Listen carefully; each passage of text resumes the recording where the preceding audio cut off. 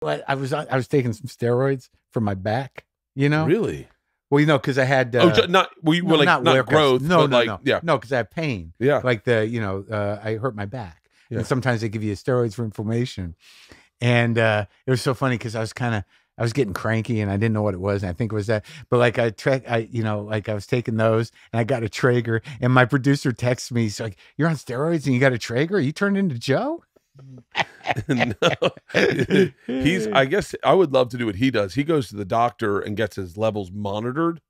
Yeah, I don't think he's a roid guy. No, I think he's. I would. I would love to do. I would love to do that because I can feel it in my